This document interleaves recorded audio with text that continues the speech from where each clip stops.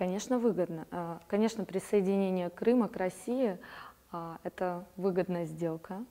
В первую очередь для России она расширила свою территорию, границы, население.